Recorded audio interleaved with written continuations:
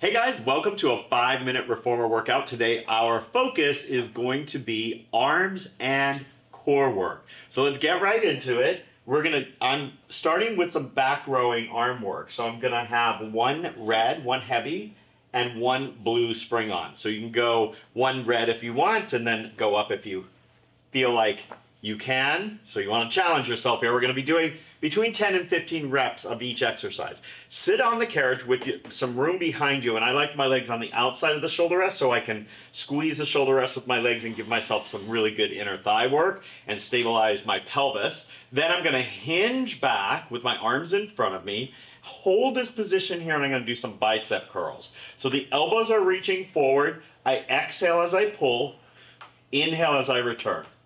That's it. And your eyes can look forward, so you'll have a slight head nod forward. That's okay. It's going to take the stress out of the neck. And we should be feeling the work here in the back muscles, the abs, as well as the biceps, of course. And let's do five more. Five, and four, and three. Exhale in two. Last one, we're going to hold it in. We're gonna hinge up with it and then release the arms forward. All right, let's move on to some side kneeling work. So, I'm gonna grab one strap, the one in front, and I'm gonna go to just one red, one heavy spring here. We're gonna do a little back hand with rotation. So I'm gonna start turned a little bit toward the pulley, opposite hand in the strap, and I'm gonna rotate and reach up, and then come back across. Exhale as you reach up and out.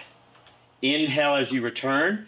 The goal is to keep the hips as square to the side as possible so that you're rotating the rib cage above the pelvis, getting your oblique system, and of course your triceps and shoulders. Across, and across, and we've got three more. Three, and back. And use that exhale. Two. And one more time. Across and back. All right, return that carriage. Turn around and face the other direction. Use the opposite hand. Start rotated slightly toward the pulleys with your torso. Exhale up and out. Inhale back across. And pull.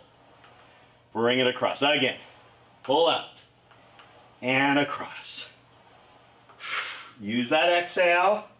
Keep your focus so you keep your balance. Glutes uh, should be engaged here. Keep the hips open in front. Three more. Three. And bring it across. Two. And one more. Out. And back across. All right, now we're going to turn and we're going to you can keep the springs the same or you can go up if you want. I'm going to keep it at one red heavy.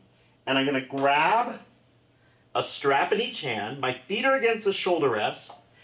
And I'm kind of sitting on my heels. If this is uncomfortable, you can straddle a long box and do it that way. Then take the arms up behind the head and reach back. So bending the elbows here. Your hands are going to be about shoulder distance apart and your palms are facing each other. Then exhale, press as you flex the spine. And inhale, you're going to go past your neutral and extend the spine as you bend the elbows. Exhale, press out. And inhale, extend. And press away. Now you notice I'm not pulling my arms down, I'm reaching them up at an angle. So the straps are staying just about at my shoulder. They're not pulling down the sides of my arm. Exhale, press. Inhale back. Let's do five more. Five. And return back. And four. Think of the abs bringing the ribs and hips together in front. Three.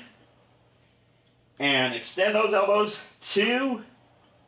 And one more time, a good press out there. Come back. And then return the arms all the way to the side. To finish, we're just going to do a little open stretch. I'm going to actually keep the one red spring. I'm going to come around and have a seat. Cross my legs in front or you can straighten them out. And let's just do a little offering here. Open, close, and back in. Exhale, reach. Inhale to open the arms.